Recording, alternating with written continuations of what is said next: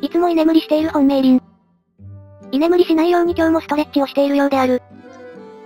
メイリン、ちょっといいかしら？は、はい、昨夜さん、なんでしょうか？なんでそんなに慌ててるの？い、いえ、別に。ああ？さてはまた怒られるんじゃないかって思ってたでしょ？理由もなくそんなことしないわよ。もう？ひどいわねメイリン。そ、そうですよね。変な反応しちゃってすみません。わかればいいのよ。よーしバレてない。そうそう、さっき子供たちがメイリンにお菓子を持ってきててね。いつも遊んでくれるし優しいし楽しいからそのお礼だって。そうだったんですか。私も楽しんでますしそう思ってもらえてるなんてちょっと照れくさいですね私も身内が褒められてちょっと嬉しかったわ。いいなクッキー。よし。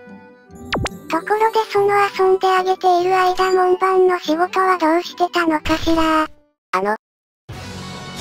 てか子供たちはなぜあなたではなくうちの中にいる私に渡してきたのかしらさ、さあ、なんででしょう。あなた、ちゃんと起きてたのよね？キー。